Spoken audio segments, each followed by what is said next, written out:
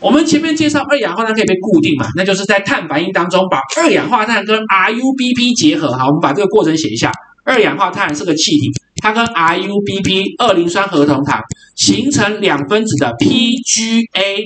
这叫磷酸甘油酸，对吧？好，磷酸甘油酸是一种三碳酸，像这样的植物，它先把二氧化碳固定成三碳酸，就叫做 C 三植物，或叫三碳酸植物。所以 C 三植物大家最熟悉，就是我们之前学到的那一种啊。但是如果今天气孔关闭了，气孔 close 了，怎么办？二氧化碳不够，你就不能形态反应了耶。怎么办？所以其他植物担心，我天气一干旱，气孔一关闭，我就没有二氧化碳了。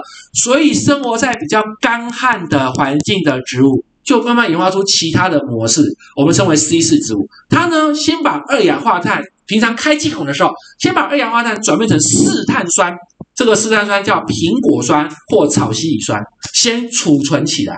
因为二氧化碳随时会缺货，我就先囤货。好，囤货的位置是在叶肉细胞。叶肉细胞吸收二氧化碳形成四碳酸。好，到你需要二氧化碳的时候呢，再跑到维管束鞘细胞，把四碳酸释放出二氧化碳，才进入卡尔文循环去形成 PGA 磷酸甘油酸。所以它的三碳酸的过程还在哦，卡尔文循环是正常的，只是前面多了一个储存二氧化碳的过程。在二氧化碳充足的时候，先把二氧化碳储存成四碳酸。好，四碳酸包含苹果酸或草烯乙酸都是酸，这叫 C 四植物。叫做四碳酸植物，先固定成四碳酸，再丢出二氧化碳，行卡尔文循环，它是不是就可以适应随时会关闭气孔的干旱环境？例如温带地区，如果在热带、亚热带比较温暖潮湿、比较湿，就比较适合 C 三植物，因为气孔不会随便关起来的，我都有充足的二氧化碳。好，那另外一群植物更极端，它生活在非常极端干旱的沙漠，它呢是。晚上的时候气孔才能开哦，可是晚上你开气孔有个有什么用？因为碳反应是在白天进行的，那怎么办？好吧，只好晚上打开气孔的时候，把二氧化碳先固定成四碳酸，苹果酸或草烯乙酸，储存在中央大细胞。到了白天没有二氧化碳的时候，才释放出二氧化碳去行卡尔文循环。所以 C 四植物是裂肉固定，然后在维管束下细胞行卡尔文循环，在空间上有区分，叫空间上的分工。C N 植物呢是晚上的时候固定四碳酸，到了白天才释放二氧化碳行卡尔文循环，是白天跟晚上、晚上跟白天的时间上的分工。好，这三种植物，一个叫 C 三，就一般的 C 四，呃，一个叫 C N，谁的光合作用效率最高呢？是 C 四植物，第二名是 C 三植。最后一名其实才是 C A M，大家会说，哎，可是 C A M 不是可以固定二氧化碳储存起来？它不是有原料存货吗？为什么它光合作用效率比较差呢？可 C A M 的光合作用效率差跟二氧化碳无关，是因为它生活在沙漠，它缺水啊，而水是光反应的原料啊，它是二氧化碳有储存，但水真的没办法。好，所以 C N 植物的光合效率、光合作用效率比较差。不是因为二氧化碳不够，它已经演化出 C N 的路径可以储存二氧化碳，是水不够了，好，所以它的光合作用效率比较差。好，那我们来看它们的结构哦。一般的 C 三植物大家最熟悉，上下表皮之外有栅状组织跟海绵组织。那如果是 C 四植物呢？上下表皮之外呢，它是满满的叶肉，不分栅状海绵之外，你会发现它的叶脉旁边有好大的维管束鞘细胞，超级大。它的维管束鞘细胞非常的发达，维管束鞘细胞，因为它必须由维管束鞘细胞来行卡尔文循环。叶肉只是固定二氧化碳成四碳酸，还有行光反应而已。它真正型卡尔文碳反应的地方是在叶肉细，呃，是在维管束鞘细胞，所以它的维管束鞘细胞超大颗的，有道理吧？好，那我们来看实际照片，上表皮、下表皮、栅状组织、海绵组织，C 三植物最普通的。好，我们看哦，上表皮、下表皮叶肉塞得满满的，有很肥大的维管束鞘细胞，这是个维管束叶脉，好大的维管束鞘细胞哦，它就是 C 四植物。所以 C 四植物有个重要特征。维管束鞘细胞会膨大，很明显，而中热反而没有。那中热的维管束鞘细胞好普通，是它的旁边的平行脉，维管束鞘细胞好大哦。然后再一个辅助特色，它的叶肉细胞塞得满满，不分栅状组织跟海绵组织。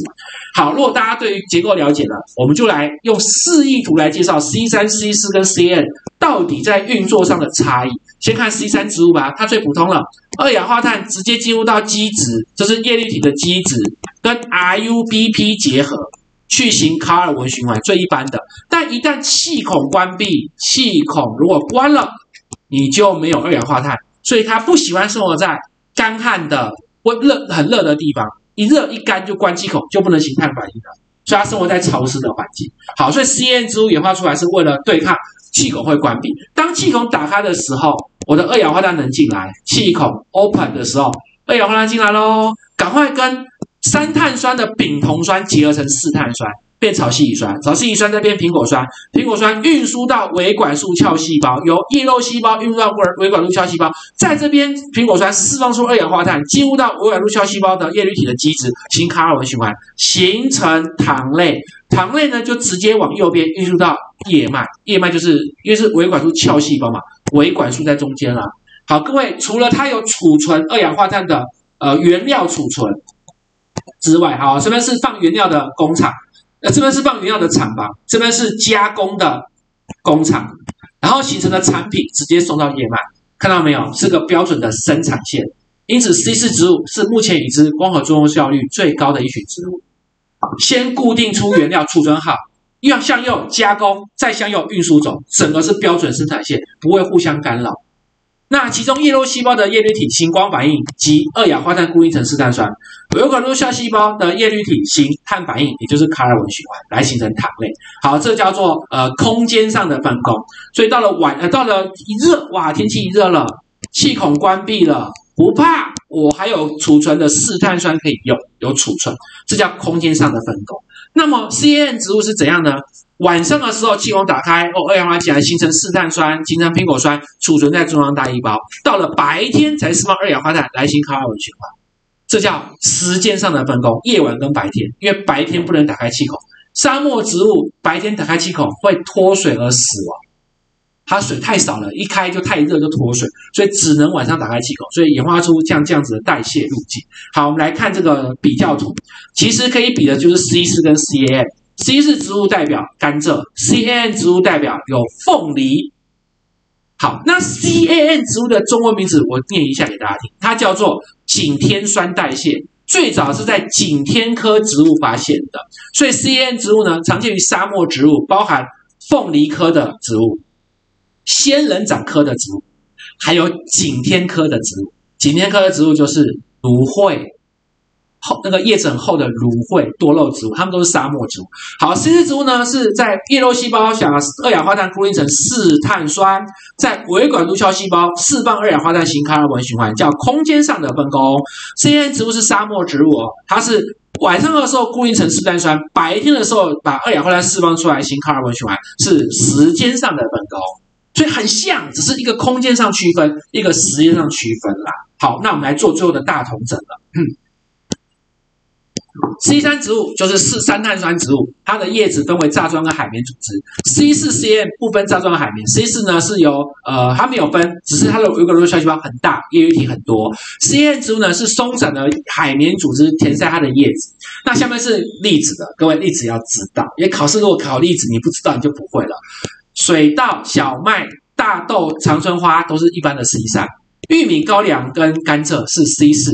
仙人掌科的、凤梨科的跟景天科的，就是沙漠植物，属于 C A N 植物。C 三植物是生活在潮湿的地方，C N 是在脱缺水的呃热带地区啊。然后 C N 植物呢是在极端缺水的呃沙漠。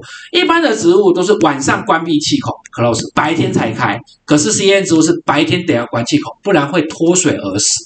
好，以上我们就把 C 三、C 四、C N 植物大家做个比对喽。